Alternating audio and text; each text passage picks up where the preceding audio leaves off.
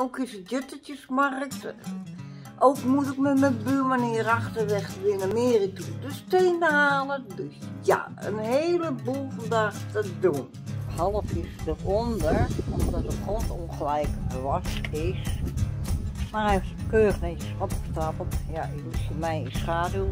De zon die staat nou eenmaal zo.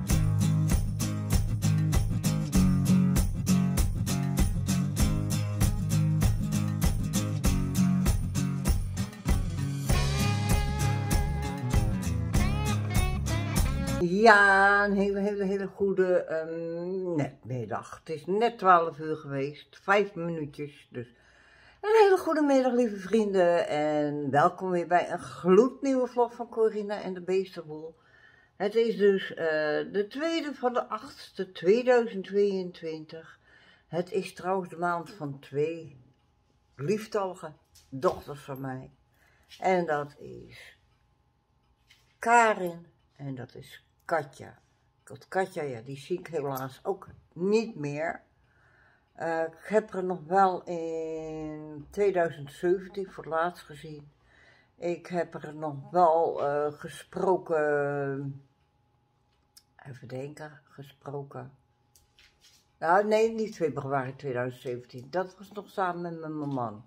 Maar in augustus heb ik er ook nog gezien in 2017. En daarna is, uh, niet door haar schuld, maar die uh, pleegouders waar ze nog zat, die pleegmoeder, die haar schuld, die kwam de afspraken niet meer na. Nee. Dus ja, leuk hè. Dus na die tijd heb ik haar niet meer gezien, na augustus in 2017. Maar wel gesproken via Facebook. Maar daar is het meisje ook weer helaas van afgehaald door derde, dus het is niet haar schuld dat ik haar niet meer zie. Maar daarom ben ik er wel met mijn uh, hart erbij en met mijn hoofd, net zoals met uh, Karin. Maar ja, eerst is Karin jaar, dat is 7 augustus. En mijn jongste spruit dan, Katja, is 28 augustus jarig. Dus ja. Maar in ieder geval, zover zijn we nog niet. Uh, het is eerst vandaag en het is vandaag de tweede. En ik ga met de meiden even lopen. En, uh, want om 1 uur komt mijn begeleider, mijn nieuwe begeleider. Ik weet god in hoe die heet. Oh, nou, het staat er wel in hoor. Daar nu van. Dus ja, dat gaan we straks ook nog even bekijken. Want uh, ik moet zijn naam wel proberen te gaan onthouden. Want dit is nou voorlopig mijn uh, begeleider. Ja, die moet het allemaal weer overnemen van Daphne, want die komt uh, helaas niet meer. Die, uh, ja, ander werk, uh, wat momenteel even meer bij haar past, dat zij waarschijnlijk meer tot rust komt. Ja, ik weet het ook niet hoor. Het zal allemaal wel. Maar in ieder geval, lieve vrienden, geniet. Het, het, het is raar vreemd weer. Google zei dat het 21 graden was, maar het waait als een tierenlier. Uh, de zon die is wel geweest, maar die is weer verdrongen door uh, de bewolking. En uh, ja, we zullen verder wel zien. En ook is het Juttetjesmarkt. Ook moet ik met mijn buurman hier achterweg weer naar Meren toe de stenen halen. Dus ja, een heleboel vandaag te doen. Voor de Juttetjesmarkt red, weet ik niet. Maar in ieder geval, het komt allemaal goed. En ja, ik hou jullie uiteraard op de hoogte. Ja, ook ben ik gisteren vergeten te vertellen over Mary, haar gipspoot, want die ligt nou hier op tafel. Dan ga ik uh, zijde plantjes en bloemetjes in doen. Ja, helemaal leuk. ja, en dan krijg ze terug. We zien wel hoe we dat gaan beleven. Ja. Maar oké, lieve vrienden, geniet van jullie dag. En doe het met lach. En geniet ook mooi weer met ons mee. Ja, lieve vrienden, daar ben ik weer eventjes. Ja. Uh, mijn begeleider is al lang al geweest. En uh, die heeft weer een hoop voor me gedaan, et cetera. Dus daar ben ik wel weer blij mee. Uh, ook hebben we weer een boze Karin. Nou ja, zet er drie keer werk van. Aan de ene kant begrijp ik haar, maar ik heb nee gezegd. Nee. En wat was er nou? Jullie weten dat er een aangetrouwde neef van mij is overleden. Dat heb ik jullie al medegedeeld. Gisteren al. Ik heb daar al gisteren een kaart door de brievenbus gedaan. Bij zijn vrouw, bij mijn nicht. Ik heb ook jullie verteld dat ik er niet zoveel contact mee had. Zo nu en dan eens als ik haar tegenkwam in de stad. Maar ja, we kwamen niet bij elkaar over de tenminste bijna niet. Dat was zeer zeldzaam wanneer ik bij haar over de vloer ben geweest. Nou, dat was met mijn vorige neef, die is ook overleden. Dat was mijn lievelingsneef, uh,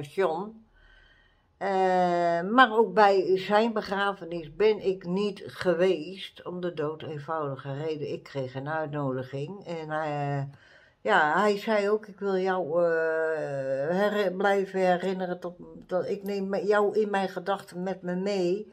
Zoals je eruit ziet, hij zegt, ik zie jou. Hij zegt, want je zit op je booster.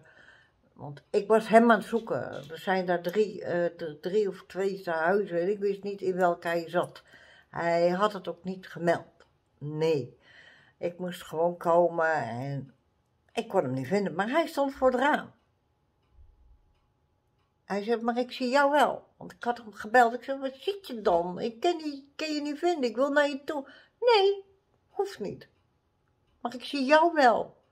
Hij zegt, en jij moet mij blijven herinneren zoals, ik, zoals je mij het laatste zag. Hij zegt, dat was bij Ria. Dat heb ik gedaan.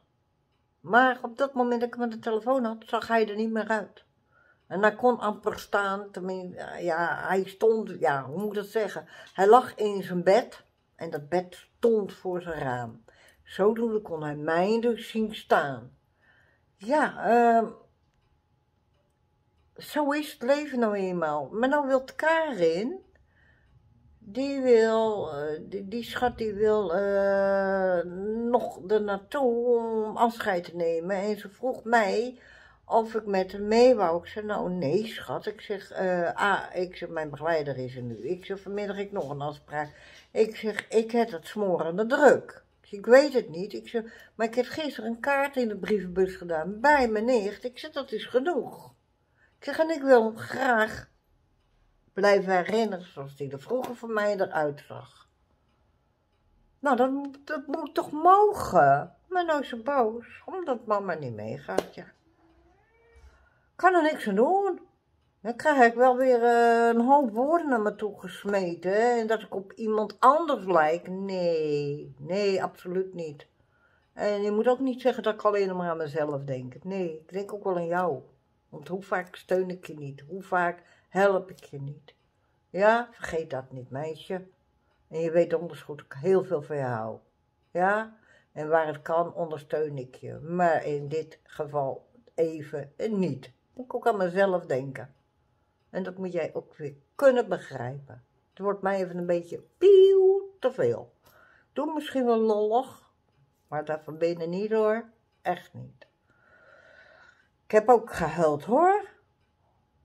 Omdat hij er niet meer is. Maar ik wil hem onthouden zoals ik hem het laatst zag. Ja? Dus. Maar oké. We gaan gewoon weer door, mensen. Ja, we gaan gewoon weer door. Ik had het programma al neergezet voordat mijn begeleider kwam. En toen kwam mijn begeleider en ik heb dus niks kunnen doen. Nou heb ik net mijn telefoon even schoongemaakt van allemaal berichten. Wat ik door moest sturen naar Facebook. Heb ik naar Facebook gedaan wat ik doorsturen kon op uh, WhatsApp naar degene die de waarheid willen weten. Heb ik daar naartoe gestuurd. Want dat mag weer niet op Facebook, want dan krijg je weer een blok.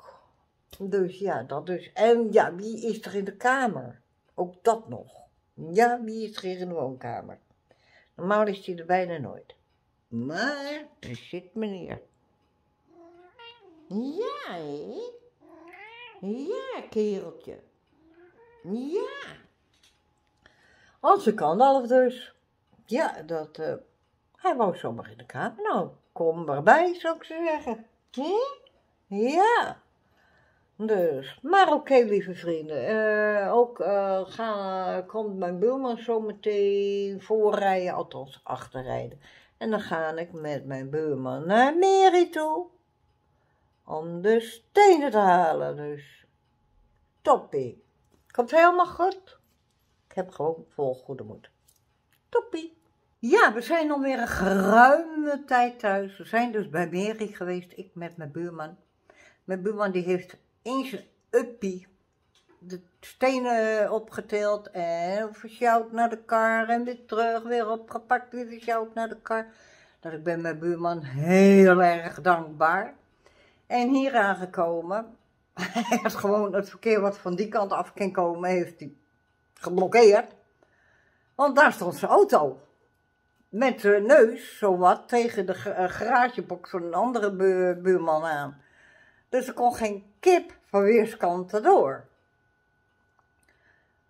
Kippen wel hoor, die kruipen wel onderdoor. maar geen verkeer. Maar in ieder geval, uh, ook de tegels weer in mijn tuin gezet. De buurvrouw heeft erbij geholpen, die liep met één tegel per tegel. Dus iedere keer één tegel. Ik laat het jullie zo even zien, maar daarvoor ga ik jullie wel omdraaien. Dus ja, ik laat het zo zien. Nou, jullie zien het. Hier staat het. Er liggen een paar halfjes eronder, omdat de grond ongelijk was, is.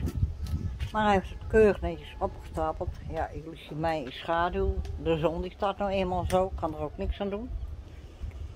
Dus ja,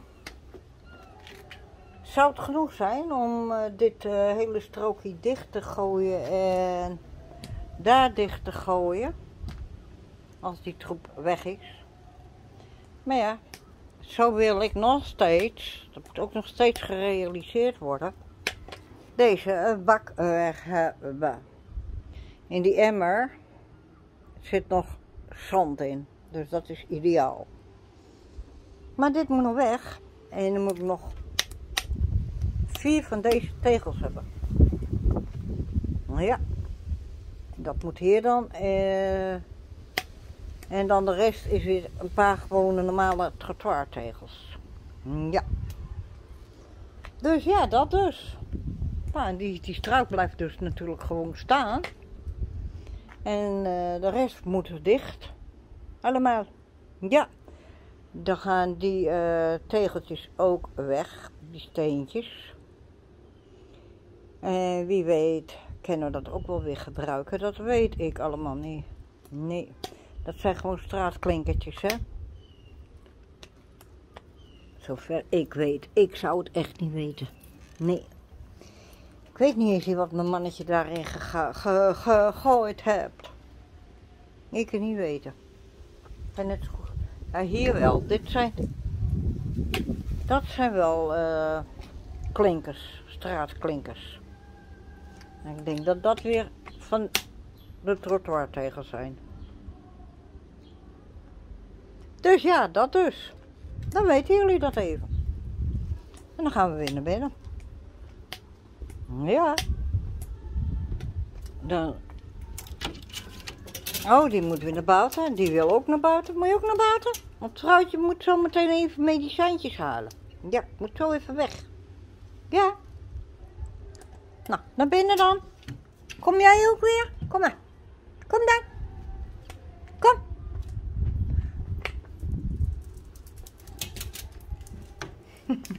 Dikke boef. Hé? Toen was hij wazig. Woehoe. Waarom ben je wazig? Nou is hij helder. Waarom ben je nou wazig? Oh. Nou, gek ding. Zo, uh, ja, ik was ook met een, een, een, vlog bezig. Ik moet even zitten. Maar dan wordt hij weer wazig. Ik weet niet wat dat is. Zo. Ja, daar was ik ook nog mee bezig. Oh, even minimaliseren. Ja, ik ben bij het einde.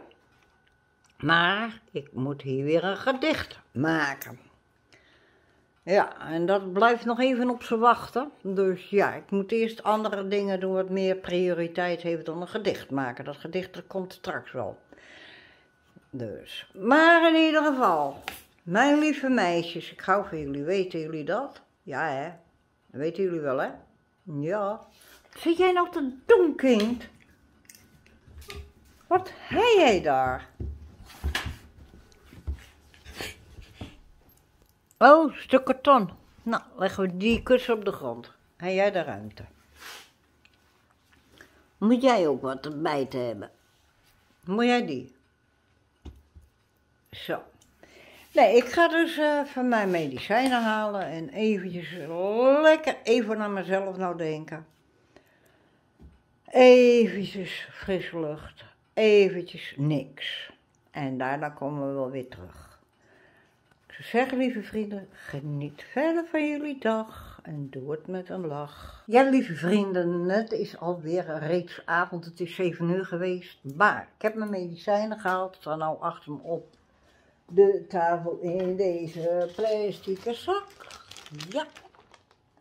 En ik heb meisjes al uitgelaten. En het is nou tijd voor mezelf dat ik een bakje koffie ga maken. En een placemat neer ga leggen. En bestek pak. En een bakpak. En dat ik lekker weer een visje ga eten. Nou, wat voor een visje. Een lekker visje. Dat is een gerookte makreel. Ja, lekker, lekker, lekker. En ja, vis moet zwemmen, zeggen ze. Dus ja, het is wel door de week, maar ik neem er toch een wijntje bij. Want ik ben ook niet naar de Juttersmarkt geweest. Ik heb ook geen terrasje gepakt, dus ik mag een wijntje hebben. Ja, echt waar. Nou, neem ik gelijk even mijn place met mee. Voilà, voilà. Zo. En dan doen we zo meteen een schort om. En dan gaan we lekker smullen. Ja, helemaal lekker smullen. En ik ga televisie kijken en nog verder met mijn vlog. Ik moet nog steeds dat gedicht doen, muziek eronder en switch ertussen. En dat komt vanavond allemaal wel. Want ik ben het even zat. Ik ga even lekker genieten. Ik wens jullie natuurlijk allemaal een uh, fijne avond een liefdevolle avond. Geniet ervan. Uh, ga ik ook proberen, ondanks dat ik toch wel verdriet heb vanwege mijn achterneef. Maar ja, het is nou eenmaal zo. En als alles achter de rug is, dan ga ik wel eens naar mijn nicht toe met een bloemetje en dan zien we wel weer. Ja, toch? Ik kende niet bellen, niks, want ik heb nooit niet een telefoonnummer van ze gehad, hè. Ja, dat bedoel ik. Zo goed gaan we dus met elkaar om. Maar maakt niet uit, ik laat wel mijn eigen zien, maar na die tijd, ja. Ik hou de eer aan mezelf. Simpel zat. Ik hoef niet te, koop te lopen van hoe en wat, nee. Ik ga niet op die manier uh, doen, nee. Daar ben ik op tegen. Maar in ieder geval, lieve vrienden, geniet ze.